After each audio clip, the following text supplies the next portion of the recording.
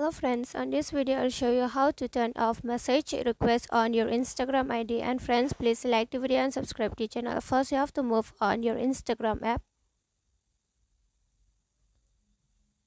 Here click on your profile.